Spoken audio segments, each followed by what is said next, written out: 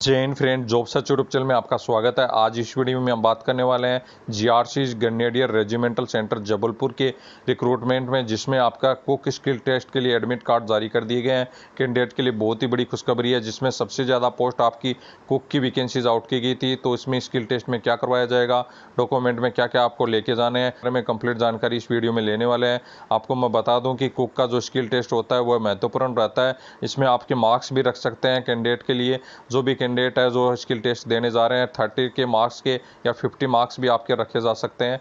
तो आपको ध्यान में रखना है, उसी तरीके से आपको बिल्कुल स्किल टेस्ट की तैयारी करके जाना है। तो वीडियो को कंप्लीट देखिए स्किल टेस्ट की कंप्लीट जानकारी इसमें दी जाएगी।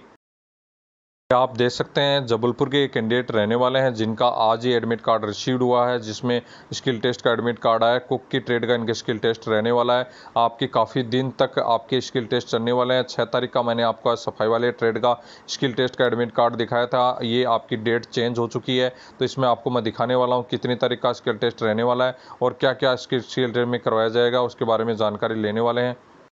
आप स्क्रीन पे देख सकते हैं कुक का ट्रेड का एडमिट कार्ड जारी कर दिया गया है, जिसमें आप देख सकते हैं कुक ट्रेड से इनका सिलेक्शन हुआ है स्किल टेस्ट के लिए, जिसमें आप देख सकते हैं गेंडेरियर रेजिमेंटल सेंटर 21 अगस्त को जो एग्ज़ाम हुआ था, उसी के स्किल टेस्ट के डेट आप देख सकते हैं, डेट में चार तारीख का चार नवंबर को आप स्किल टेस्ट के लिए आपको बुलाया गया है। चार नवंबर का देख सकते हैं और गेट आपको उसी गेट पे, जारपल गेट है, उसी पे grenadier regimental centre same address पे आपको बुलाया गया है। सात बजे तक आपका रिपोर्टिंग टाइम दिया गया है। इसमें आप देख कंप्लीट देख सकते हैं। इसके बाद में आपका डॉक्यूमेंट देख सकते हैं। आईडी प्रूफ में आपका जो भी डॉक्यूमेंट है आईडी प्रूफ में आधार कार्ड, पैन कार्ड जो आपका या बर्थ सर्टिफिकेट तीनों में से आप कुछ भी, एक चीज़ लेके जा सकते हैं। उसके बाद में मार्कशीट आपकी जो दोनों है, टेंथ, ट्वेल्थ की जो भी मार्कशीट है, या आपका डोमिशियल सर्टिफिकेट है, कास्ट सर्टिफिकेट है मतलब जो भी ओरिजिनल डॉक्यूमेंट है, कंप्लीट आपको लेके जाना है, वहाँ पे आपका डॉक्यूमेंट का भी वेरिफिकेशन रहने वाला है। इसमें कंप्लीट दिया गया साथ में कि यदि आपको कोई भी चांस, सेकेंड चांस नहीं दिया जाएगा, यदि आप टाइम पर वहाँ पर नहीं पहुँचते हैं,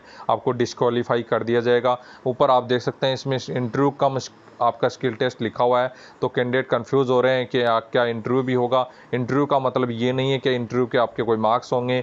आपके इंटरव्यू का मतलब ये है कि जो कुक का स्किल टेस्ट होगा, उसमें आपसे क्या क्या पूछा जा सकता है, वही इंटरव्यू होता है। वही आपसे पूछा जाता है कुक के बारे में आपके ज्ञान पूछा जाएगा।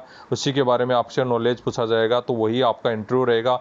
स्किल टेस्ट में आपका जो भी है कुक में क्या क्या करवाया जाएगा, उसकी जानकारी अपन ले लेते हैं कि क्या क्या उसमें होने वाला है। कुक का आपका स्किल टेस्ट में मार्क्स भी आपके रखे जा सकते हैं।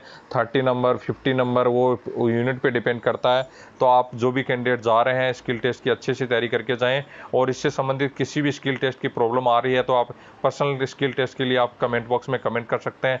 आपकी कंप्लीट हेल्प की जाएगी और जो भी कैंडिडेट का स्किल टेस्ट के लिए एडमिट कार्ड आया है, एक बार कमेंट बॉक्स में ज़रूर कमेंट करें। इनके हंड्रेड से अबो मार्क्स इनके प्राप्त हो रहे थे, इन जिनका की पोस्ट, आपकी जो स्किल टेस्ट है वो महत्वपूर्ण रहता है। यदि आप कुकी स्किल टेस्ट नहीं कर पाते हैं तो आपको चाहे मार्क्स कितने भी हो एग्ज़ाम में आपको निकाल दिया जा सकता है। तो इसमें आपको कंप्लीट जो कुकिंग फ़ूड का ज्ञान होना चाहिए, जो भी इंडियन कुक फ़ूड होते हैं, उनका कंप्लीट ज्ञान होना चाहिए, जिसमें आपको चपाती बनाना आना चाहिए, जो रोटी है वो बिल्कुल गोल वगैरह बनानी आनी चाहिए, सही से सेक, उनकी सिकाई करनी आनी चाहिए, चावल बनाना आना चाहिए, दाल आपको कंप्लीट बनानी आनी चाहिए और आपको पोहा वगैरह है, उपमा वगैरह है, इनके बारे में भी पूरा आपको कंप्लीट नॉलेज होना चाहिए। ऐसे पाँच आइटम आपसे बनवा सकते हैं, जो कि जिसमें रोटी है, दाल है, सब्ज़ी है, और पोहा है, या उपमा है, या हलवा है, ऐसी चीज़ें आपको कंप्लीट आनी चाहिए। ये चीज़ों के बारे में आपको कई जो ट्रेड टेस्ट की एग्ज़ाम हुई हैं, उनमें आपसे पूछा जाता है। तो आप देख सकते हैं, ये चीज़ें कंप्लीट आपको आनी चाहिए, और साथ ही आपको जितने भी मसाले, दाल और जो भी बर्तन होते हैं, बनाने वाले बर्तन कंप्लीट उनका उपयोग और उनका नाम आपको कंप्लीट आना चाहिए। आपका कंप्लीट पूछा जाता है, जो भी दाल के मसाले होते हैं या जो भी आपके चिकन मटन के जो भी मसाले होते हैं, उनका कंप्लीट आपको नॉलेज होना चाहिए। कौन सी चीज़ में कौन सा मसाला डलेगा और उस, किसका नाम क्या है और कौन सी दाल का नाम आपको जैसे एक दाल सामने रख दी जाएँगी, चार प्रकार की दाल, उनके नाम बताने होंगे आपको कि कौन सी प्रकार की कौन सी दाल है, उसके नाम आपको आने चाहिए। तो ये कंप्लीट आप यदि कहीं भी होटल ज्वाइन कर लीजिए, दस दिन के लिए, पाँच दिन के लिए, वहाँ पे कंप्लीट आप देख सकते हैं कितनी प्रकार की दाल बनती है, दाल फ्राई कैसे बनती है, अंडा करी कैसे बनती है, अंडिया भुजिया कैसे बनती है, उसके साथ ही उपमा है, आपका जो भी है, हलवा है, ये चीज़ें आपको दाल, रोटी है, सब्ज़ी है, दाल फ्राई है, ये सब चीज़ें आपको आनी चाहिए। मीट, चिकन बहुत ही कम चांस रहते हैं बनवाने के, लेकिन उनके मसाले वगैरह आपको कंप्लीट आने चाहिए। उनमें क्या क्या मसाले डाले जाते हैं, क्या आपको कंप्लीट उसमें चीज़ों के पूरे कंप्लीट नॉलेज होगा तो ही आपका स्किल टेस्ट आप क्लियर कर पाएँगे। उसमें घबराने की बिल्कुल भी ज़रूरत नहीं है, बिल्कुल आपके जो भी कुक भाई रहेंगे, वहाँ पे जो सीनियर है, वही आपको चेक करेंगे, बाकी ज़्यादा डरने की बिल्कुल भी ज़रूरत नहीं है। जो भी आपको चीज़ें आती हैं, वो कंप्लीट आपको बना के देनी है। बनाना ज़रूर आना चाहिए, आप कोशिश करना ज़रूर है।